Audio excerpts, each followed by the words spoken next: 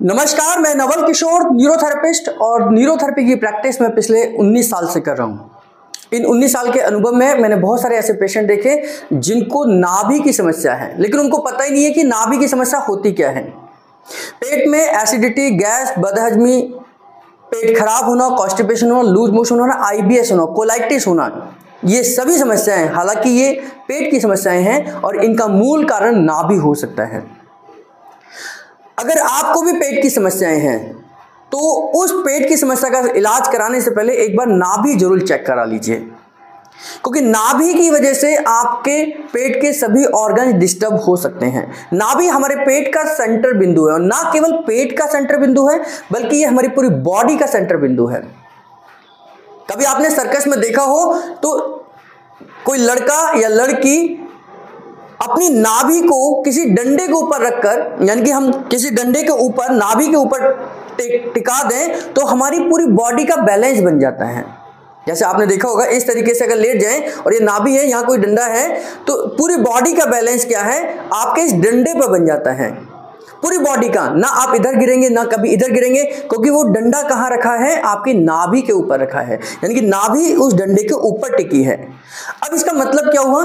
आपका या किसी भी वस्तु का अगर सेंटर है तो वो उस जगह पर बैलेंस तरीके से रहती है।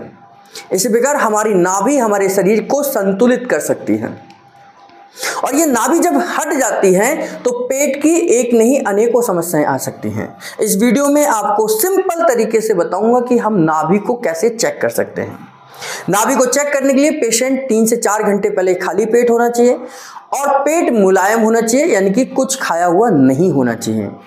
इसके लिए हम क्या कर सकते हैं? दो तरीके हैं। पैरों को मोड़ कर भी नाभि को चेक कर सकते हैं और पैरों को सीधा करके भी कर सकते हैं। जैसे ये सीधा लेटे हुए हैं, खाली पेट है, तीन से चार घंटे पहले इन्होंने कुछ भी नहीं खाया है और उस समय पर हम नाभि चेक करेंगे। अपनी सारी उंगलियों को मिलाकर नाभि को ऊपर रखेंगे। ये इनकी नाभि है। और नाभि को हल्का सा प्रेस करेंगे और नाभि पर होने वाली धड़कन धक धक धक धक धक धक वाली धड़कन को महसूस करेंगे कि इनकी धड़कन नाभि पर है या नहीं है। अगर नाभि पर धड़कन नहीं है तो थोड़ा सा ऊपर चेक करेंगे और थोड़ा सा नीचे की तरफ़ चेक करेंगे और थोड़ा सा दाएँ और थोड़ा सा बाएँ चेक करेंगे नाभि आपको नाभि के ही चारों तरफ़ कहीं ना कहीं मिल जाएगी यानी कि नाभि अगर अपनी जगह से खिसकी होगी तो नाभि ऊपर हो सकती है नाभि नीचे हो सकती है नाभि दाएँ हो सकती है नाभि बाएँ हो सकती है और इसकी वजह से आपको ये धड़कन नाभि पर ना होकर नाभि के आसपास के एरिया में महसूस होगी जहाँ ये धड़कन महसूस हो रही है, ये समझ लीजिए, नाभि आपकी उसी डायरेक्शन में, उसी स्थिति में, उसी तरफ़ खिसक गई है। अब ज़रूरत यह है कि हम उस नाभि को कैसे चेक करें, यानी कि उसको सेट कैसे करें। तो सेट के लिए मैं आपको अगले वीडियो में बताऊँगा कि हम किसी की नाभि को खिसक जाने पर उसको ठीक कैसे करेंगे। आप मेरे चैनल पर नए हैं तो चैनल को सब्सक्राइब कर लीजिए बेल बटन ज़रूर दबाइए, ताकि ऐसी ही हेल्थ की वीडियोस का नोटिफिकेशन आपके पास सबसे पहले पहुँचे।